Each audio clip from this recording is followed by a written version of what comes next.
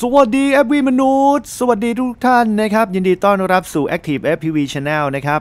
กับวันนี้นะ พี่ใหญ่ DJ IPV อีกแล้ว ยังคงมีน้องๆหลายคนนะครับที่ยังคงรู้สึกว่าควบคุมเจ้าพี่ใหญ่ DJ IPV ได้ค่อนข้างยากนะครับ แล้วก็อีกหนึ่งท่านะครับที่ยังคงติดขัดกันอยู่นั่นก็คือการบินแบบ Orbit นะครับหรือว่า POI นะ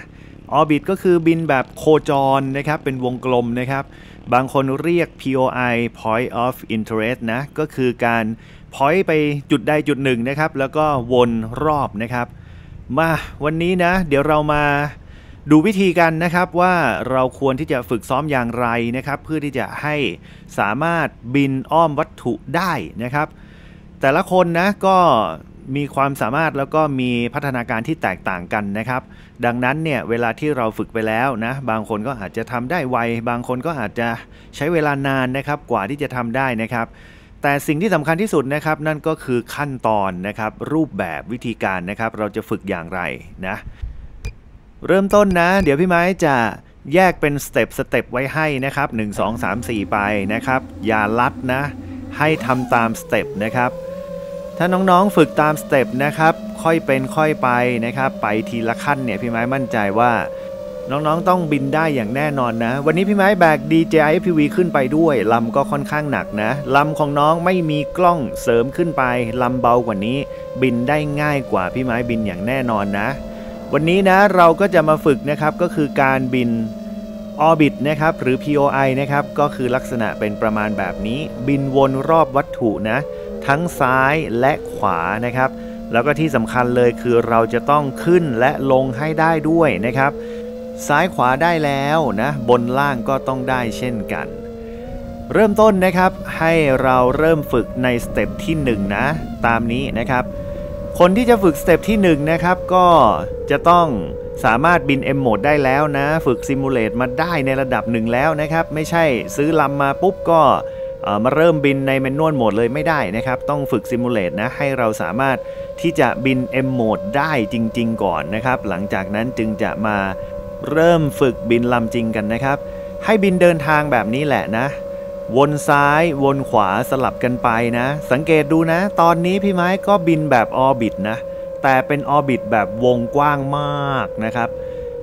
ต้นไม้ก็ยังคงอยู่ที่เดิมเห็นไหม พี่ไม้วนหนึ่งรอบแล้วนะ ต่อไปพี่ไม้จะวนซ้ายเมื่อสักครู่คือวนขวา น้องๆหลายคนน่ะบินแบบนี้ได้แน่นอนนะครับ บินวนแบบวงกว้างๆแบบนี้ได้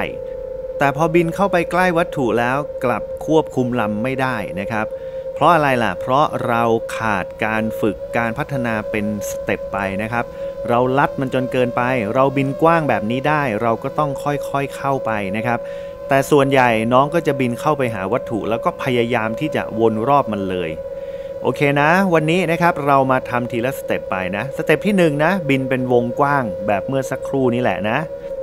เมื่อเรามั่นใจละว่าเราบินได้อย่างแน่นอนนะครับ ขึ้นสเต็ปที่ 2 กันนะสเต็ปที่2นะครับให้บินวนเป็นเลข 8 เมื่อสักครู่เนี่ยเป็นเลข0นะ วนซ้ายแล้วก็วนขวา แต่ตอนนี้เราจะวนเป็นเลข 8 เห็นไหม ใช้พื้นที่ก็พอๆกับกับการบินในรอบแรกนะครับ พอๆกันนะ อาจจะเล็กกว่าแคบกว่ากว้างกว่าก็ไม่ว่าไม่ซีเรียสนะครับ แต่ให้บินวนเป็นเลข 8 แบบนี้เห็นไหม มันจะได้ฝึกเลี้ยวทั้งซ้ายและขวานะครับ สลับกันไปนะ ตอนนี้พี่ไม้เลี้ยวขวานะ จากวงที่มันใหญ่เลขศูนย์นะครับ มันก็จะถูกแบ่งครึ่งมาละ อ่าตอนนี้กลายเป็นวนซ้ายเห็นไหมมันก็จะสลับแบบนี้แหละ ถามว่ามันจะต้องฝึกไปมากน้อยขนาดไหนนานขนาดไหนก็ขึ้นอยู่กับความอดทนของน้องๆเลยนะครับ ถ้าน้องมีความอดทนที่จะทำมันบ่อยทำมันซ้ำทำมันเรื่อยๆนะครับ มันก็จะทำให้การบินเนี่ยดีขึ้นนะครับ มีความต่อเนื่อง มีความสมูทขึ้นอย่างแน่นอนนะครับเดี๋ยวนะแป๊บหนึ่งพี่ไม้ขอเบรกก่อนนะ มีมดแดงมาลอบทำร้ายที่ต้นคออยู่นะ เอาใหม่นะครับ เข้าโหมด M ไปกันต่อ ต่อไปก็คือเป็นสเต็ปที่ 3 นะครับ สเต็ปที่ 3 นะครับ บินช้าๆ ใจเย็นๆ เมื่อเรามั่นใจว่าเราเดินทางได้แล้ว ต่อไปเราต้องฝึกเบรก ฝึกชะลอ บินเข้าไปช้าๆ ชะลอนะครับ แล้วก็ค่อยๆ ถอยออกมาแบบนี้นะ ไม่ต้องถอยไกลนะครับ มันเป็นลักษณะเหมือนกับเหมือนเรือไวกิ้งอะเคยเห็นไหมเวลาที่เราไปเล่นที่สวนสนุกนะเนี่ยก็คือไปด้านหน้า แล้วก็กลับหลังเหมือนคล้ายๆ กับนั่งเปลอยู่นะ เราไกวเปลอยู่อย่างเงี้ยนะครับ ไปหน้านิดนึงนะครับ แล้วก็กลับหลังนิดนึงนะครับทำแบบนี้แหละทำบ่อยๆเลยนะครับนะมันจะช่วยทำให้เราเนี่ยสามารถควบคุมลำได้ดั่งใจนะครับ สไลด์ซ้ายแบบนี้นะครับ แล้วก็โยกกลับมาทางขวาเห็นไหม หน้าหลังได้ ซ้ายขวาก็ต้องได้นะครับ สลับกันนะ ซ้ายนะครับ ช้าๆ ใจเย็นๆนะครับ แล้วก็ขวานะครับ เน้นพื้นที่โล่งนะครับลำมันจะร่วงจะหล่นจะชน มันก็จะเสียหายน้อยนะครับ แต่มันทำให้เราเนี่ยสามารถฝึกทักษะการควบคุมลำได้เป็นอย่างดี หน้าหลังซ้ายขวาได้แล้วให้ฝึกการโฮเวอร์หรือการฮอปแบบนี้นะครับ ให้ลำลอยอยู่นิ่งๆ พยายามเลี้ยงสติ๊กนะ ทั้งหน้าทั้งหลัง ทั้งซ้ายทั้งขวานะครับ พยายามให้ลำมันอยู่นิ่งที่สุด จากนั้นเมื่อเราเริ่มควบคุมลำได้แล้ว เราก็ลองขึ้นบน ลงล่างเห็นไหมครับมันเป็นการฝึกสมาธิฝึกให้สมองของเราเนี่ยมันจดจำนะ ว่าเราควรที่จะดันสติ๊กเนี่ยในรูปแบบไหนทำอย่างไรให้ลำเนี่ยมันมีศูนย์ทวงนะให้มันมีสมดุลให้มากที่สุด แต่ถ้าทุกครั้งที่เราอาร์มลำแล้วเราก็บินสูงบินเล่นบินไกลอัดสติ๊กอย่างเดียวเนี่ยมันจะไม่ได้ทักษะในการควบคุมลำแบบนี้เลยนะครับ เป็นเรื่องที่ไม่ได้ยากเลยนะแต่ส่วนใหญ่เนี่ยนะนักบินในประเทศไทยของเราเนี่ยนะครับ พอทำเรื่องที่ 1 ไม่ได้ก็จะไปทำสองทำสองไม่ได้ก็ไปทำสามพอเห็นเพื่อนทำท่านั้นท่านี้สวยอะก็อยากจะไปทำตามบ้างสุดท้ายมันก็ไม่ได้สักท่าหนึ่งนะครับ เพราะอะไรล่ะก็เพราะว่าเราไม่ได้ฝึกเป็นขั้นเป็นตอนนะครับ ดังนั้นเนี่ยเราจะต้องฝึกนะเรื่องที่ 1 ที่ 2 ที่ 3 มันยากใช่ไหมมันก็เลยต้องฝึกนะครับ แต่ตอนนี้พออะไรยากหน่อย พออะไรที่ไม่สนุกเราก็จะไม่ทำมัน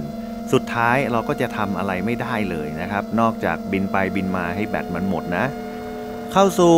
ขั้นตอนที่ 4 นะครับ สเต็ป 4 เราจะเริ่มบิน orbit จากวงกว้าง แล้วก็แคบเข้ามาเรื่อยๆ แบบนี้นะครับ บินเดินทางรอบนอกเราทำได้แล้ว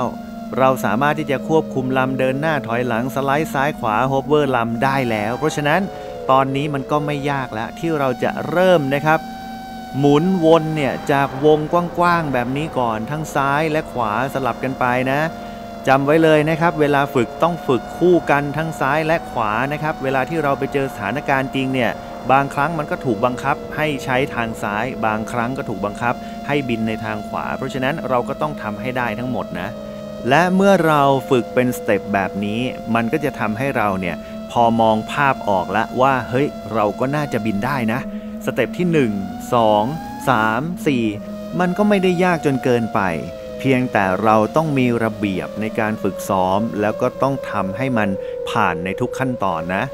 จากนั้นสเต็ปที่ 5 ก็คือเข้าหาวัตถุเลยนะครับ แล้วก็พยายามที่จะ orbit นะครับ จากล่างขึ้นบนก็ได้ จากบนลงล่างก็ได้นะครับ เราฝึกมาแล้วทุกเรื่องเลยนะครับ แต่ละสเต็ปนะครับ มันก็จะผสมกัน จนทำให้เราเนี่ยสามารถบิน orbit แบบใกล้วัตถุแบบนี้ได้ ส่วนใครจะเป็นไวเป็นช้าก็อยู่ที่ชั่วโมงของการฝึกฝนละนะครับ ถ้าน้องมันขยันฝึกฝน บินให้บ่อยทำซ้ำให้บ่อยทำสเต็ปหนึ่งให้ชัวร์ให้สวยงาม 2 ให้ชัวร์ให้ดีให้แม่นยำนะครับ เมื่อครบทุกสเต็ปแล้วเนี่ยเราก็แค่นำมันมารวมกัน เราก็สามารถที่จะบินได้อย่างใจต้องการแล้วล่ะครับ เอาละครับนะลองไปฝึกซ้อมกันดูครับ ไม่ยากเกินความสามารถของน้องๆอย่างแน่นอนนะครับ มีสตินะ แล้วก็มีสเต็ปนะครับ ค่อยๆฝึก ค่อยๆ พัฒนากันไปเป็นขั้นเป็นตอนนะครับ ติดขัดจุดไหนทักหาพี่ไม้ได้ตลอดเวลานะครับขอให้น้องๆทุกคนฝึกซ้อมด้วยความสนุกนะครับ ขอให้บินโดรนอย่างมีความสุขและปลอดภัย เจอกับพี่ไม้ใหม่ในคลิปตัวต่อไปครับ ผมโย่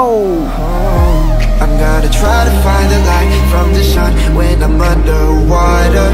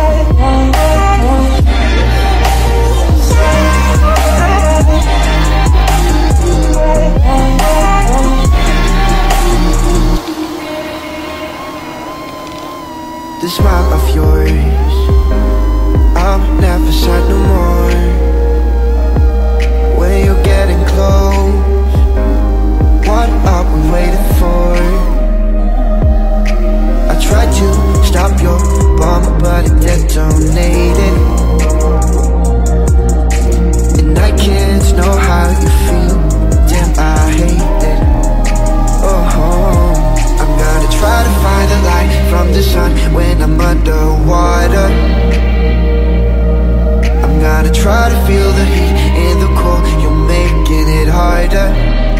Oh, every day that's passing by Wanna feel your hand in mine I'm gonna find the light Which is making me shine.